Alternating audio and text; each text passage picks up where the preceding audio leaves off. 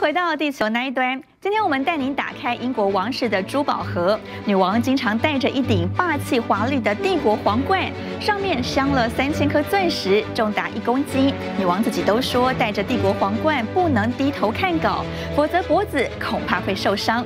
还有戴安娜王妃生前最爱的珍珠类皇冠，传承自英国女王的曾祖母玛丽王后。这顶珍珠类典雅绝美，但却同时被盛传是被诅咒的皇冠，会为拥有它的人。带来不幸。后来戴妃的婚姻破碎，香消玉殒，也让珍珠类皇冠增添更多悲剧色彩。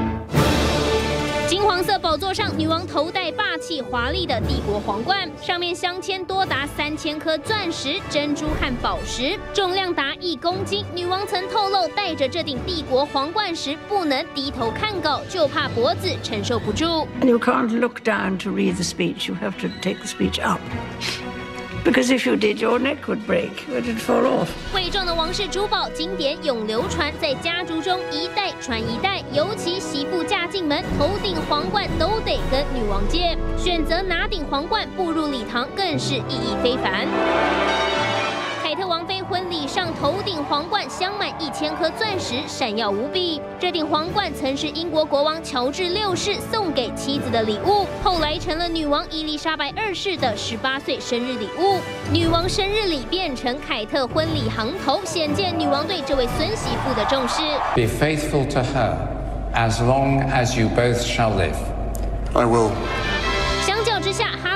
娶梅根时，媒体分析认为女王似乎有偏心的迹象。梅根戴的皇冠比较朴素，没有凯特的华丽隆重。不过，也有媒体认为梅根戴的皇冠是以一颗大钻石为中心，跟凯特以数量衬托有所不同。The crown was one of Princess Diana's favorites.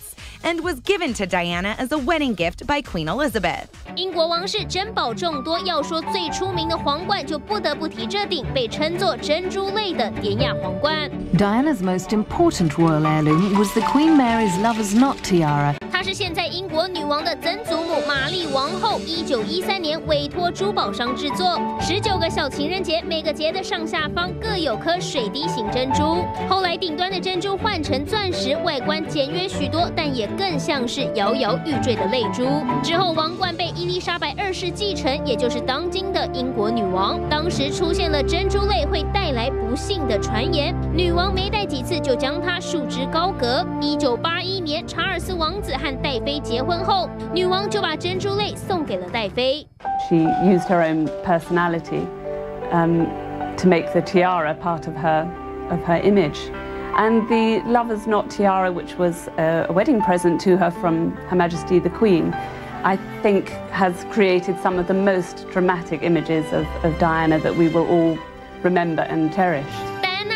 宴会或是出访国外多次佩戴，无疑是他最爱皇冠之一。但戴妃的故事却走向悲剧，凄凉的感情路又让珍珠泪抹上一层阴霾。戴妃死后，这顶皇冠长达十年被封存在伦敦塔，直到二零一五年，凯特王妃出席白金汉宫外交招待会时佩戴。如今，凯特王妃能否擦干珍珠泪，打破魔咒，引发讨论。除了皇冠传奇故事，有些经典首饰随着时代改变，还会巧妙重新设计。Is a family ring, yes. It's my mother's engagement ring. Obviously, she's not going to be around to share any of the um, the fun excitement of it all. This this is my way of keeping her sort of close to it all. 像是凯特王妃的订婚戒，它是由十四颗钻石和一颗十二克拉的椭圆形斯里兰卡蓝宝石构成。它其实也曾是戴妃的。Wonderful saffron diamond. When when were you given that? Just last night? Yeah, Sunday. 戴妃当年订婚时佩戴，死后被王室收回。直到凯特威廉结婚前，这枚戒指没有其他人戴过，因此显得特别珍贵。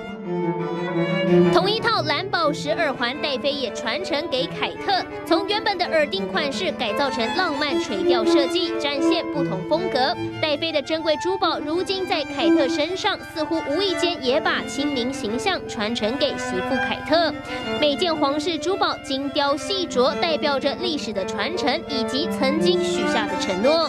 透过饱满珍珠与璀璨钻石，英国王室的经典和世代间见证的故事，都得以永恒流传。